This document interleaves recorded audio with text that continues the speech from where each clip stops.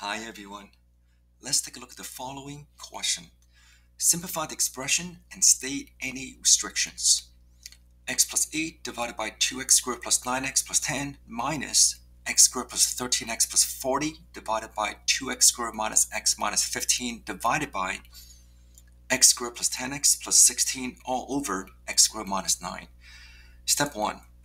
Start with the belief system that you can do this even though it does look a little bit scary at first, but if you really go through it step by step, you can totally simplify this and state any restrictions. I am also going to write down this second concept, which is kind of the key behind this question aside from mindset. Don't forget BEDMAS. This means you have to focus on dividing before you subtract. I'll say this again. BEDMAS. So because there's a fraction, subtracting another fraction divided by a third fraction or a rational function, you have to divide first, and that is key. So now we're going to go back and officially start this. Step one, I'm going to copy x plus 8. If you look at the denominator, I'm going to factor 2x squared plus 9x plus 10. So I'm thinking 2x times x will give you 2x squared. I'm thinking about the factors of 10 that will give you a sum of 9. So for example, 5 plus 4 will give you 9. Now likewise, if I look at the second part, I'm going to factor x squared plus 13x plus 40. Again, x times x will give you x squared. I think about 5 times 8, which will give you 40. If I add them, that's going to be 13. If I look at the denominator, 2x squared means 2x times x. I'm also thinking about the factors of 15, so 5 and 3, and I'm looking for a sum of negative 1. So for example, negative 6 plus 5. Now, if I look at this last part, again, I'm going to keep the dividing symbol for now. I am going to switch this to multiplying in the following step. But when I think about x squared minus 9, that's going to be x minus 3, x plus 3. If I look at the numerator, that should be x plus 2, x plus 8. Now, before we keep going, write down every single restriction. And what I mean is you have to write down all the values for um, the restrictions, which means if you look at this carefully, I'll switch colors for you. x cannot be what? Well, from this first denominator, x can't be negative 5 divided by 2. From x plus 2, this means x plus 2 cannot be 0, so x cannot be negative 2. 2x plus 5, we did this already. x minus 3 cannot be 0, x cannot be 3. x minus 3 we just did, x plus 3 cannot be 0, so x can't be negative 3. Now, I'm going to go slightly faster because in the following step, I'm going to take the reciprocal, right? So if you think about x plus 2, which will be in the denominator in a moment, again, x can't be negative 2, which we talked about.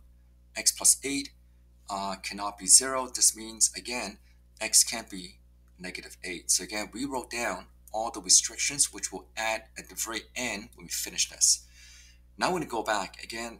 I'm going to copy x plus 8 divided by 2x plus 5 times x plus 2. Now remember your goal is to follow BEDMAS. So I am going to copy the second fraction, x plus 5, x plus 8 divided by 2x plus 5 times x minus 3 and I'm going to multiply by the reciprocal. So this is going to be x minus 3, x plus 3 in the numerator and in the denominator x plus 2, x plus 8. So again, when you're dividing by a fraction, you're multiplying by the reciprocal of that same fraction. So again, that's all I'm really doing right now. And if you go back to the restriction, we already mentioned that these are the new denominators, which we wrote down in terms of the restriction. x can't be negative 8, x can't be negative 2. Now, let's zoom in for you. Now, goal is to simplify this. So I look at the second fraction and look at the top and the bottom. And I notice I can cross out x plus 8 from the top and the bottom. I can also cross out x plus 3 from the top and the bottom. Now, the rest of this, very, very, very doable. You got this. I'm looking for a common denominator, which is 2x plus 5 times x plus 2. I'm going to copy this first part, which is x plus 8 minus, now notice this bracket, and I'll put this in a different color for you. It's x plus 5 times x plus 3. So when I expand this inside this bracket, this equals to x squared plus 8x plus 15. So again, you can use the four arrows, expand this, collect like terms. But here comes the next step. I copy the common denominator, which is 2x plus 5 times x plus 2. If I look at the numerator, that's going to be x plus 8 minus x squared minus 8x minus 15. Now, if I collect like terms, that's going to be negative x squared minus 7x minus 7 divided by 2x plus 5 in brackets and x plus 2. Don't forget the restrictions that we wrote from the beginning. So I'm going to zoom out for a moment, write down everything that we did from the beginning here. x can't be negative 5 divided by 2, negative 2, plus and minus 3, and negative 8. And I'll put a box around this. Again, this is how you simplify the expression and state any restrictions. If you find this math video meaningful, it's adding value to your math life, please comment, like, share, and subscribe. I hope this makes sense.